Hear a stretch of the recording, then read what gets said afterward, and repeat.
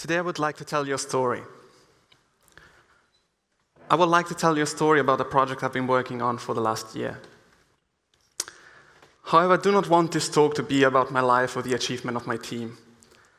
I would rather like to tell you this story to show what a team, a group, a community of people working towards solving a problem can achieve.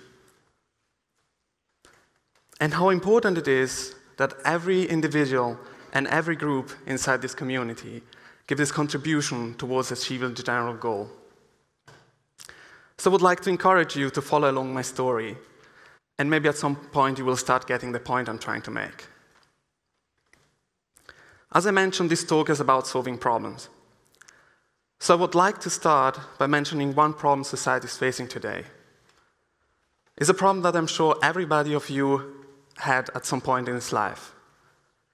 Every time you took your car and went to work or on holiday, as I'm going to do in a couple of weeks for Christmas with my family, knows of situation like this one. Staying in traffic, in traffic for hours, waiting and trying to come to destination as far as possible. Well, everybody in the cars next to you is trying to do the exact same thing.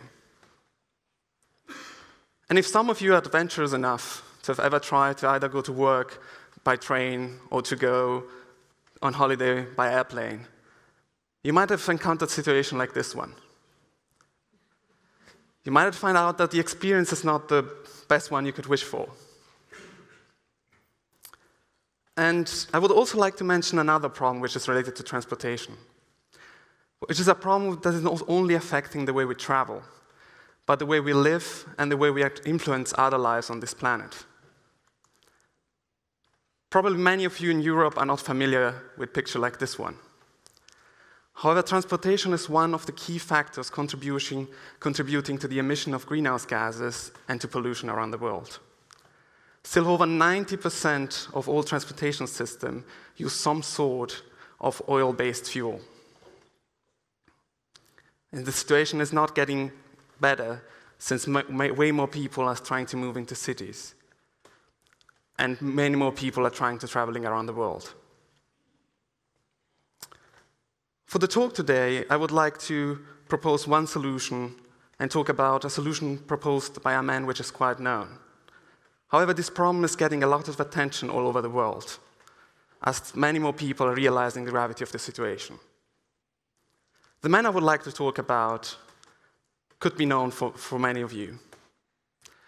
Many of you might know him for his company Tesla, which is building electric cars and trying to accelerate the transition to sustainable transport. Or maybe some of you might know him for the, his company SpaceX, which is building a new generation of rockets and trying to reduce the cost of going to space. But in 2013, he had another idea. Thinking about the problems we were talking before, he envisioned a new transportation system.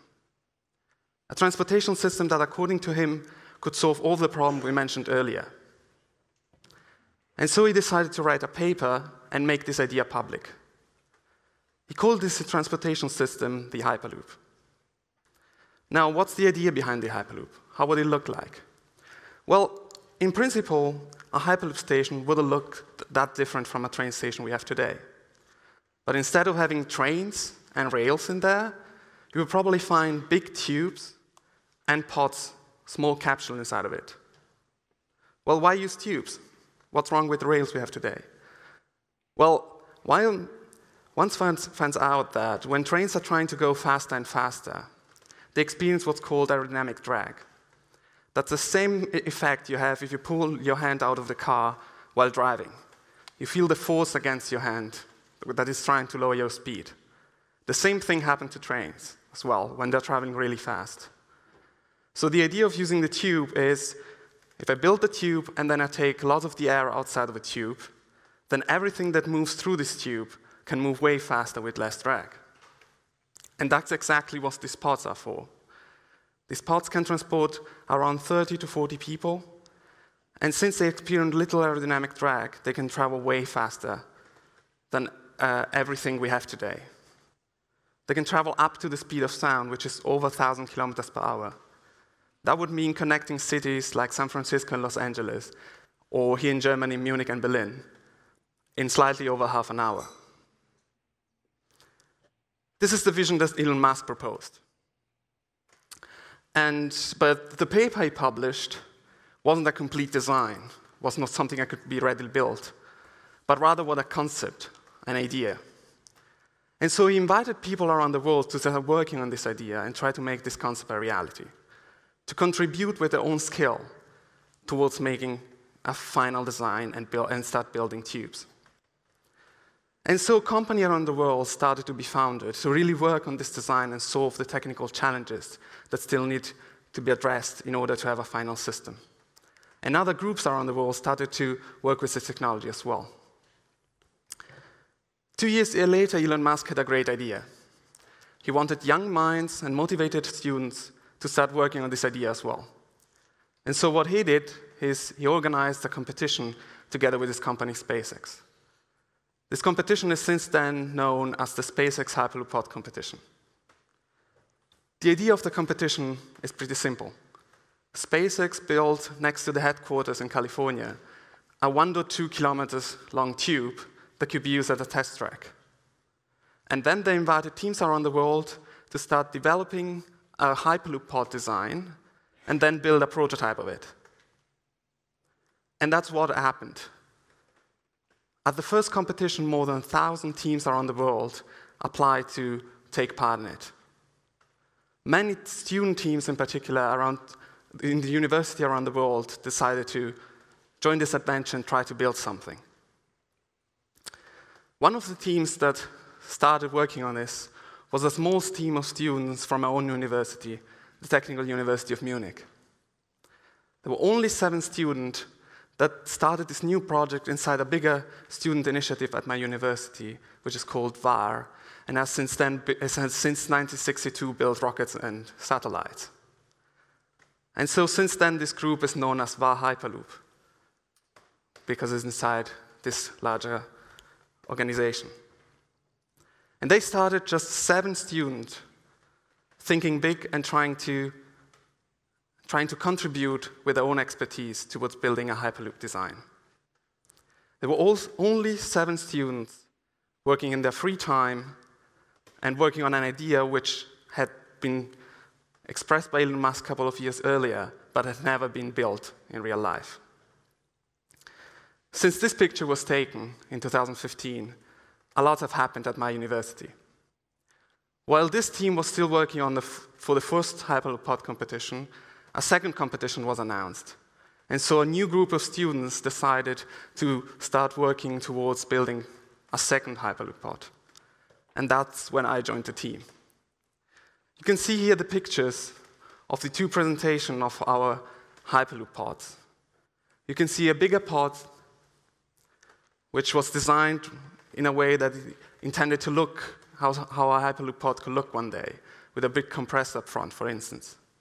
And then a smaller Hyperloop pod designed only towards achieve, trying to achieve the fastest speed in the short track that SpaceX built. Now, I would like to give you an idea of how working a project like this looks like. This is a video showing some clips we took while working on this project. You know, when you start building a Hyperloop pod prototype, it's not like building a car. Everybody knows how a car looks like, but nobody knows how a Hyperloop pod looks like. So it takes hours of discussion to decide which technologies to use, what to test, what to bring in your design, and what to build in the end. And even after you spend hours designing and taking preparation to build your pod. It takes then way more hours to prepare the hardware, test the hardware. And then, even when everything is tested and everything seems to work, then you have to put everything together. Put all the pieces together and try to make it work as a complex pod. You can imagine these students worked all in the free time. They worked days and very often nights to, to finish this pod in time for the competition. And you can imagine how proud the student team is when then finally their pod is completed. While I like to talk about my team, because that's where I spent lots of my time in the last year, there are many other teams around the world trying to build their own Hyperloop pod. Here's a picture of the first competition. You see, every tent belongs to one different group coming from somewhere in the world. There were teams from everywhere around the world. Every team worked days and nights on their Hyperloop design, built their Hyperloop pod, and then came to Los Angeles to test them. You can see how many students are working on this project. And only the best students were allowed to join the competition. Many more around the world are working as well. Now, you can imagine how important it is that inside a team everybody contributes with their knowledge, their expertise, and their time for the team to achieve the goal of joining the competition. Now, before I close my talk, I would like to show a video that I'm very proud of. This was our last test run at the last competition. The goal was to build the fastest Hyperloop pod that could travel through this rather short tube. And this is what happened.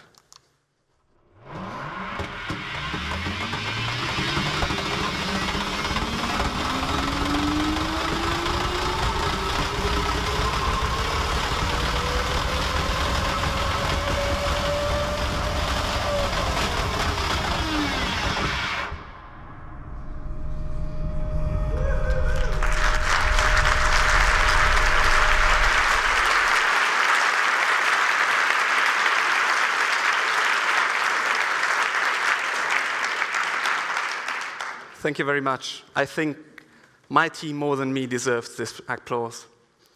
But the pod you see in the video reached 324 kilometers per hour. And that not only gave us a chance to win the competition, but we actually also met with the man that started all of this. Elon Musk was nice enough to stop by, have a short chat with us, and then take this picture, which we are very proud of as well. Now, I would like to close this talk by making a general point. Now, you, you have seen how much a team can achieve, or at least what a team can achieve when they have a common goal. But you've also seen only a part of all the problems that needs to be solved in order for this to work. So I would like to invite you to become active and choose the problem you want to solve. I'm sure everybody of you knows some problem that needs to be solved in society. I hope that maybe after the talk today, you're more inspired towards trying to solve yours. While this talk today was a very technical talk, solving a problem which is mainly about engineering, there are many other problems in society that needs to be solved. In social issues, political issues, issues in education, and so on. So maybe if you're not an engineer, you can try and solve a problem yourself.